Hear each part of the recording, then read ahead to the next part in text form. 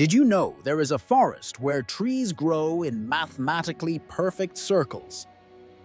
As if someone designed them with a compass. Welcome to the mystery of the fairy circles of Namibia.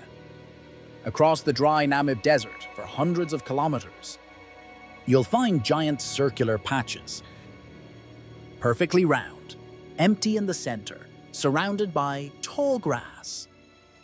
No animals made them, no humans created them.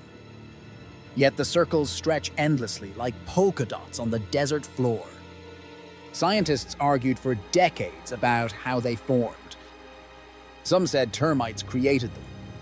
Others believed poisonous plants caused the pattern.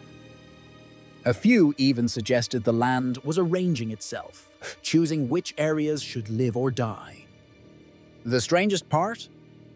Every circle is spaced nearly the same distance apart.